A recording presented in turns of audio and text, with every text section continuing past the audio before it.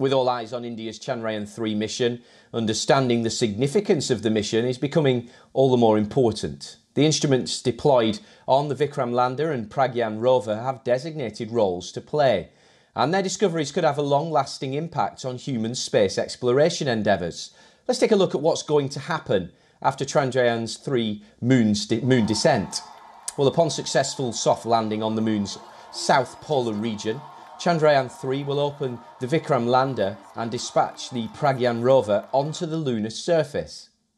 The rover is going to leave indelible prints on the Indian national flag as well as the ISRO's logo on the lunar surface. Here's what the rover's instruments are going to do. The rover's carrying two kinds of spectrometers to understand the lunar surface's composition. A spectrometer is a scientific instrument which uses different types of light waves to analyse the chemical composition of a substance, in this case, the moon's surface. One is a laser spectrometer and the other is an X ray spectrometer. Elemental analysis of the lunar soil is expected to serve several purposes. The instruments are going to look for water on the moon's surface. This, as discovery of a water source, is crucial for all future human missions. If water ice exists in sufficient quantities, it could be a source of drinking water for those exploring the moon. It would help cool their equipment as well. Additionally, it could also be broken down to produce hydrogen for fuel and oxygen to breathe, supporting missions to Mars or lunar mining. Next, the spectrometers will also search for metals like aluminium, magnesium, silicon, iron, and titanium. These metals, which are pivotal for all future on site construction prospects. But the scientific community is most excited about one particular substance, and it's called helium 3. Helium 3 has potential as a fuel for advanced nuclear fusion reactions. For perspective, nuclear fusion is the same process that powers the Sun and other stars. If harnessed on Earth, it could provide a nearly limitless and clean source of energy without the radioactive waste associated with current nuclear fission reactions.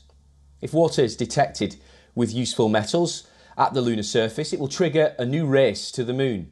And the South Pole will become one of the most viable and desirable places for setting up temporary as well as permanent settlements on the moon.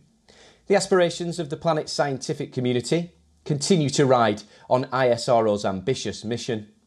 If successful, Chandrayaan holds the potential to become an iconic space mission. It will also position India's humble space agency as a force to be reckoned with among the stars.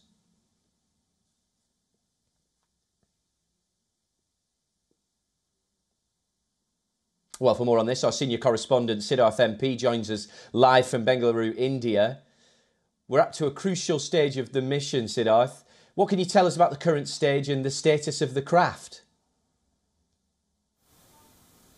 So the craft is completely healthy. The mission, Oliver, is progressing as it was planned by the Indian Space Agency ISRO. So far, there are no glitches. Everything is progressing smooth for the lunar landing pro process, which is to commence at 5:45 p.m. IST on Wednesday, which is 24 hours from now. Let's remember the fact that this is a very crucial mission. So as far as the health checks are concerned, all of them are going well. In fact, just a couple of hours ago, ISRO even released a statement saying all is go for landing uh, on Wednesday, and the systems are doing extremely extremely well. So as far as the status of the craft is concerned, it's continuing in its orbit for several hours now, almost 72 hours now. It's continuing in an orbit which is just 25 kilometers above the surface of the moon at its nearest and close to 134 kilometers above the moon at its farthest approach. So this of course is not a circular orbit but it's a highly elliptical orbit which means it's an uneven orbit and from here you know the craft or the, rather the Vikram lander can take on a direct path to lunar landing. So that's the purpose of staying in this particular orbit, Oliver.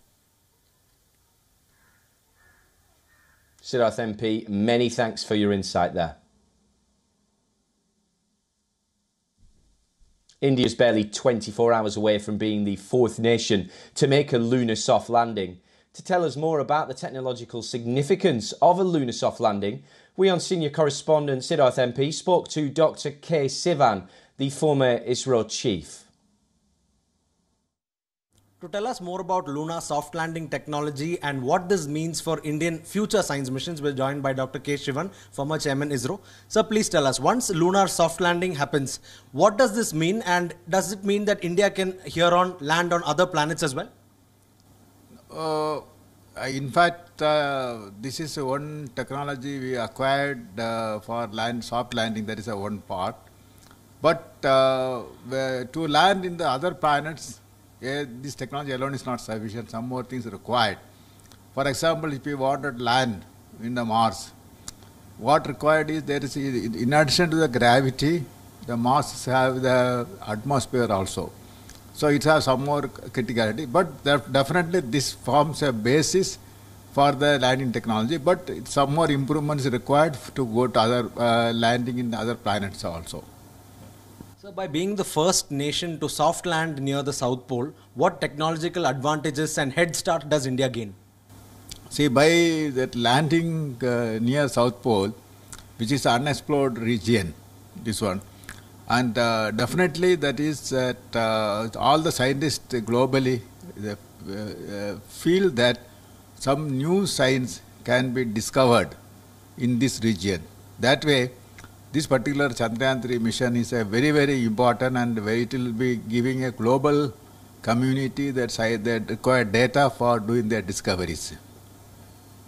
And sir, what does Chandrayaan 3 mean for India in the longer run in terms of uh, you know further deep space missions and lunar exploration?